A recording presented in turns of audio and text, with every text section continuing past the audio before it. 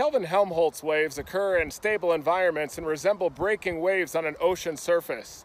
They usually occur as repetitive wave-like features and are driven by vertical wind shear across that stable layer.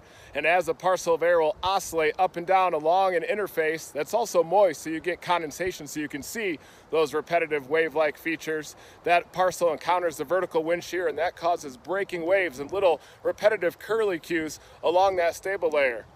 They're often observed very rarely at the base of mesocyclones as well, those mothership supercells. That's because you get vertical wind shear along the edge of the updraft, and then you can also get stable layers near evening. That's when you get the sculpted look to that mothership updraft, and that's where you can often see KH waves along the base of those stable layers all the way up along the updraft, and that's because of that vertical wind shear. But usually, Kelvin Helmholtz waves occur in stable environments on the backside of uh, complexes of storms where you have rain-cooled air and you have lots of different interfaces where those waves can form along, but they absolutely create a spectacular scene in the sky and are definitely enjoyed by photographers and weather enthusiasts and just anyone that enjoys looking up at the sky. And the best best thing is that Kelvin Helmholtz waves are also harmless. They usually occur in stable environments, unless, of course, they're ripping along the base of an approaching mesocyclone.